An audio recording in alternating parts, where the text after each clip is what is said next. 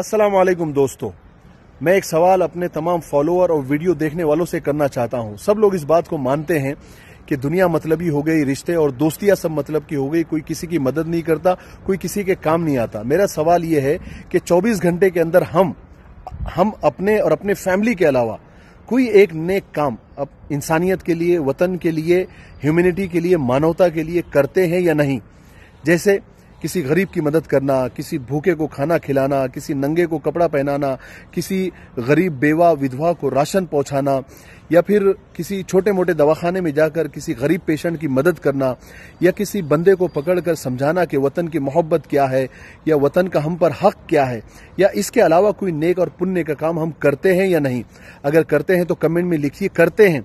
और अगर नहीं करते हैं तो लिखिए कि करेंगे। ताकि हमें पता चले कि वतन को लेकर, इंसानियत और मानवता को लेकर हम कितने जिम्मेदार हैं।